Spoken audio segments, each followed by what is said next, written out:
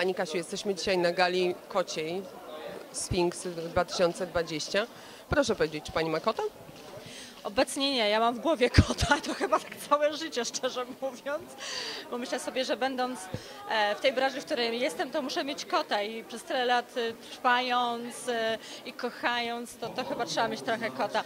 Oczywiście tak żartuję, ale jak najbardziej wychowałam się z kotami. Jak byłam dzieckiem miałam kota i jeszcze parę lat temu miałam kota, ale z racji mojego tego zawodu i licznych podróży, no, na chwilę obecną, mimo że żałuję, no, nie posiadam zwierzęcia, e, ale, ale mm, e, mamy z moim narzeczonym e, dom e, pod Koninem i tam mamy psa i rzeczywiście też takiego kotka, który niedawno się tak trochę przyplątał, tak muszę po- powiedzieć, to nie jest taki nasz kot, ale, ale jest gdzieś tam, więc no, taki przyszywany, o tak bym powiedziała. A proszę powiedzieć, co u Pani w tej chwili zawodowo? Nagrywa Pani nową płytę może? Znaczy, generalnie teraz się koncentruję na miłości, na moim związku, co myślę, że jest bardzo ważnym okresem w moim życiu e, i chyba dla każdej kobiety.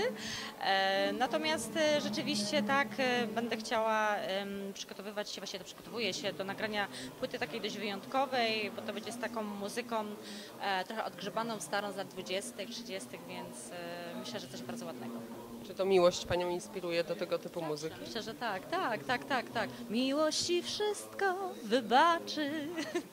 Super, to dziękuję bardzo i czekamy wobec tego na płytę i życzymy oczywiście wszystkiego najlepszego i spełnienia marzeń i szczęścia w związku, bo to jest najważniejsze. Tak, dokładnie. Dziękuję. Jest miłość, jest szczęście, to myślę, że cała reszta też jest.